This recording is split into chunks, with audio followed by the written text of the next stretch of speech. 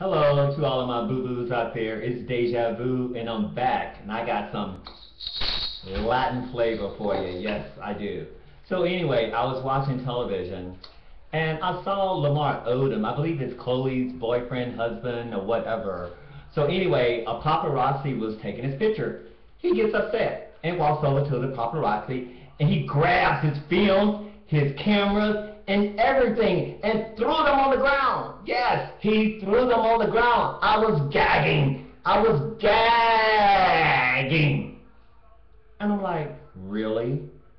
You're supposed to get your picture taken. You are a celebrity. Like me.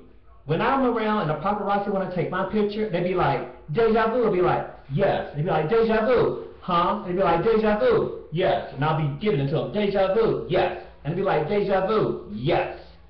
Let me tell you this. When you get your picture taken, you let them have it. You give it to them. That's right. You give it to them. Anyway, I just wanted to share that little note with you. I hope you enjoyed that as much as I did.